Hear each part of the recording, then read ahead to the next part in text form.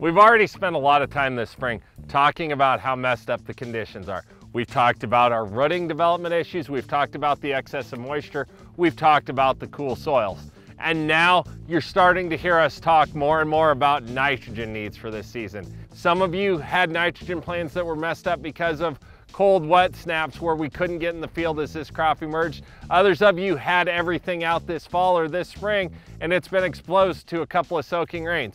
But what I do know, while I'm not the right guy to talk about those things with you, I am the right guy to talk about some of the solutions that are out in front of us and how we can deal with the hand that we're dealt right now. I'm Keith Byerly, Precision Ag Manager at Central Valley Ag, and this is your Precision Focus that corresponds with my article on the CVA blog site. When it comes to side dress nitrogen, you really have two choices. You have the old standby tradition with urea over the top as a side dress. Nothing wrong with that program. We have some other options in our disposal now. And one of those options that we didn't necessarily have before is the liquid side dress. In the past, liquid side dress was limited to a Coulter machine, applying that nitrogen down the center of our row. For those of you that are in the hillier areas of our trade territory, I know that you shudder when we hear that because there's no surer way to ensure a thunderstorm's gonna come through and wash that nitrogen down or cause erosion than to pull a Coulter machine through this field in the month of June. We started to see options like the 360 Y-drop come to the market.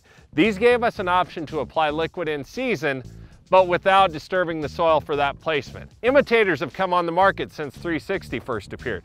Those imitators are by and large placing that nitrogen down the center of the row with a single drop scenario. When we look at this root development that Mike and I have been talking with you about, we know that we are not gonna have the same roots underneath these crops that we normally see. And as our roots grow in a conical pattern, that means if we place nitrogen in the middle of the row, we've really got to rely on some moisture to come in and push that nitrogen down to where it can get into the plants.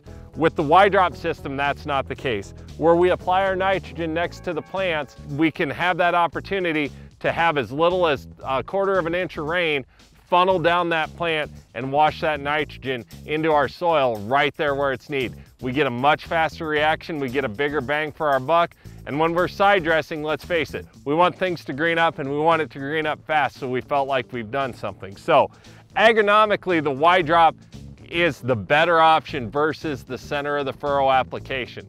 So that's really what I want you to focus on right now. But if you do need additional nitrogen, I want you to do your homework about the Y-drop system.